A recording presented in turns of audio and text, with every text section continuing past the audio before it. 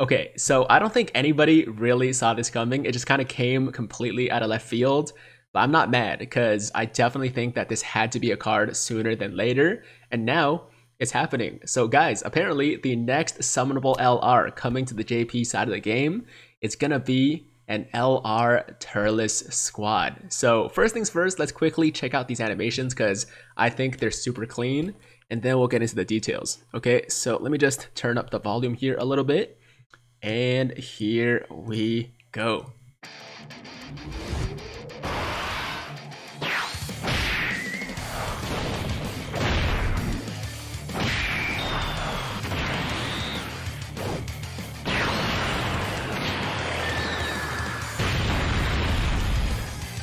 生児の実を食べ続けてきた俺に勝てると思ったか？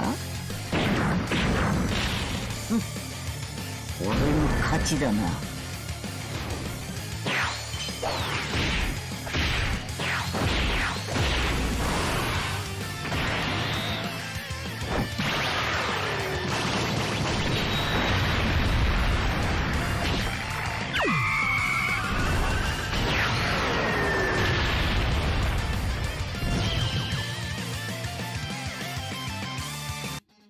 Yeah, that's that's clean. Those are, those are some clean ass animations. Now, I'll be honest, like Turles is not my favorite character in the franchise by any means, but I do appreciate him. You know, I do like him, and the members of his squad are finally getting some love, right? Like Ball Sackhead guy is finally getting the LR he deserves. Now, one thing I was laughing at when I was watching the animations was this part where he's eating the fruit. Like it looks like he's just kind of like licking it or something like that. Like it's really weird. I mean, it's just the animation, I guess, but that made me laugh. But overall, I think the animations look great. They're not the best animations I've seen either, but they're up there for sure. And the OST, man. The OST for Turles is absolute fire. Yo, one sec, one sec.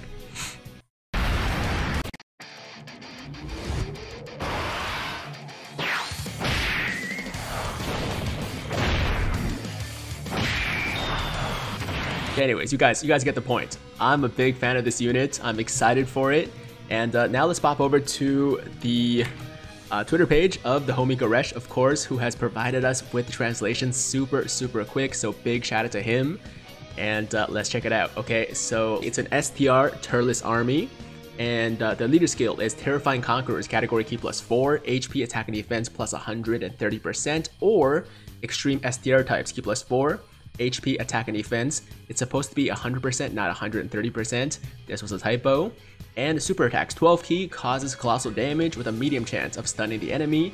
18 Ki Crusher Genocide raises attack for one turn, causes mega colossal, colossal, colossal damage with a high chance to stun. Passive, attack and defense plus 130%, Terrifying Conquerors category Ki plus 3, attack and defense plus 30%, love the support, Ki plus 6, and attacks effective against all types when attacking an enemy in the stunned status, and then attacks effective against all types and high chance to perform an additional super attack when Ki is 24.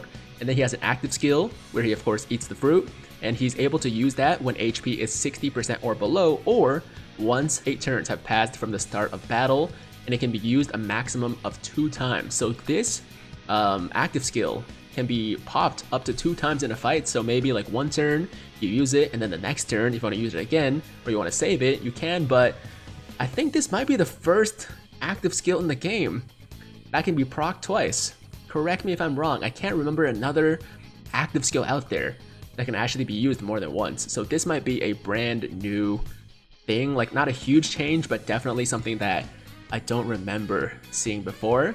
And uh, the ability basically gives him Ki plus 24, so you know, you get that guaranteed 24 Ki super, so you get the attacks effective against all types, and also the high chance to perform an additional super attack. Links are Brutal Beatdown. Oh, real quick, let me just uh, do that. Oh, nope uh, do that. So links are Brutal Beatdown, Prepare for Battle, Big Bad Bosses, Thirst for Conquest, Destroyers of the Universe, uh, Fierce Battle, and Legendary Power. And categories are Terrifying Conquerors, Movie Bosses, Joint Forces, and Final Trump card. Okay, so there you go. That is the LR Turles army that like I said, man, I don't think anybody really saw it coming. If you did, then congratulations. But uh, it is super random after you know the Angel Goku and Frieza came out. I think a lot of people were expecting another tournament, tournament, tournament. I can't talk right now. What is happening? Tournament of Power themed unit, right? If we were gonna get a new LR and you know, Turles Army is um, very far from that theme, but I guess it kind of makes sense because, you know, Bandai doesn't always follow themes for like every release, right? So I think when like Godku dropped last year, it came out of nowhere too. Like nobody saw Godku coming, but um, you know, it's okay. Turles Army finally here. Ballsack Head guy finally has an LR, uh, Cacao, and I keep forgetting the rest of his squad. I'm sorry. Um, but uh, at least Ballsack Head guy, I remember. So actually, I don't even know his actual name. Is it Raisin? Razin? Something like that? But uh, either way, man, this card looks really good. It's got the support, it's got a good amount of attack and defense, um, Ki plus 6, attacks effective against all types. When attacked enemy is in stun status, of course, he has a very good chance to stun. Medium chance for the 12 Ki, high chance for the 18 Ki, which is 50%. So there's a good chance that if the enemy uh, can be stunned, right? It's not like immune to stun. Then after a couple of supers, they should be stunned, right? So you get that Ki plus 6, uh, attacks effective against all, and then if you use your active skill or you just have 24 Ki from, you know, orbs or whatever, then you get that uh, guaranteed attacks effective against all and high chance to perform an additional super attack. So if you're launching two supers, that's double the damage.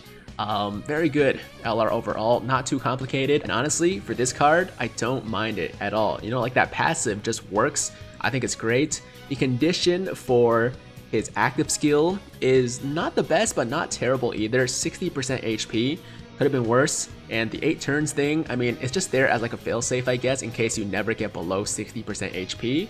But for the most part, for harder events, you will fall below 60% HP before 8 turns have passed, right? And the fact that you can pop it twice is uh, even better.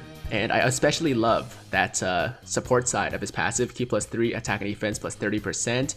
Imagine this guy on the same rotation as the AGL Turles. That's going to be Ki plus 6, attack plus 70%, and defense plus 30%. You add in another 30% support, it's up to 100% attack, you know, 60% defense, something crazy like that. So uh, yeah, this card I think is going to be very impressive. I'm expecting some big damage numbers, some good tanking, and uh, yeah, I have nothing to complain about. Let me know in the comments down below, guys. How would you evaluate this card right now, at least based on the details on paper? Obviously, we can't test it right now, but I do think he's going to be, or they are going to be one of the better LRs in the game and uh, I'm excited to see them in action. Okay, so that is the video, guys. That is all the information I have for you right now. LR Turles Army on its way over to the JP side of the game. I'm assuming, actually I know for sure it's going to be a legendary summon banner. So for anybody summoning, good luck to you. And uh, that's all I got to say. As always, if you guys liked today's video, then make sure to like the damn video. And if it's your first time watching me, first time to the channel, and you like what you see, then definitely hit that big red subscribe button to join the Tiger Squad now. And while you're at it, hit that notification bell too, so that YouTube knows you want to stay up to date with all my latest content. And that's it. I'm out of here. Until next time, hope you guys have a fantastic, fantastic day. I'm Tiger with Tiger Uppercut Media, signing out.